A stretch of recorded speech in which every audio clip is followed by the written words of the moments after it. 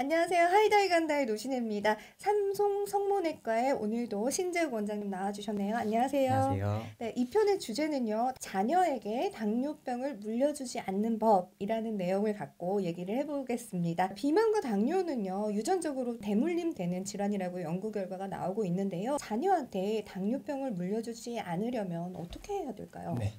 부모 모두가 당뇨라고 해서 자녀 역시 당뇨가 반드시 생기는 것은 아닙니다. 당뇨는 노력하면 분명히 피할 수 있는 병이고요. 당뇨를 피할 수 있는 최고의 방법은 바로 운동입니다. 운동을 하게 되면 우선 당뇨의 가장 큰 적인 비만을 예방할 수 있고 인슐린의 작용이 효과적으로 이루어지게 되어 당뇨를 피할 수 있습니다. 꾸준한 운동으로 섭취한 에너지보다 많은 에너지를 소비해서 표준 체중과 정상적인 체형을 유지하는 것이 중요합니다. 부모한테 당뇨가 있다면 네. 그럼 자식한테 그대로 가게 되는 건가요? 당뇨병의 대부분을 차지하는 제2형 당뇨병의 경우 부모 중 한쪽이 당뇨병 환자일 때는 그 자녀에게 당뇨병이 발생할 확률은 약 20% 정도가 되고요.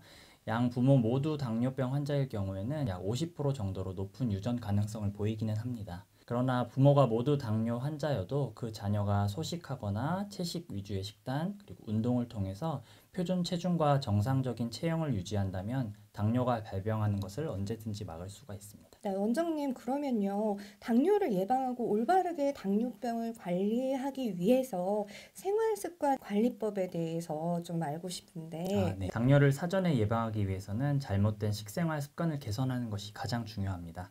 따라서 음식의 양을 적절하게 조절해서 과식을 하지 않도록 주의하고 기름진 음식의 섭취를 줄이는 것이 좋습니다. 육류나 가공 육류, 내장류 등의 음식에는 다량의 동물성 지방이 포함되어 있어 혈당 수치에 큰 영향을 끼칩니다. 또한 나트륨이 많이 포함된 맵고 짠 음식과 칼로리가 높은 술의 양을 조절하는 노력이 반드시 필요합니다.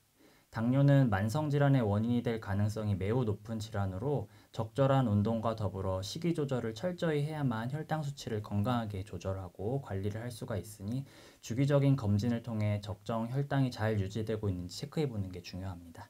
이 영상이 도움이 되셨다면요 구독 눌러 주시고요 좋아요. 네 댓글도 많이 많이 남겨 주세요 여기서 저희는 인사드리겠습니다 고맙습니다.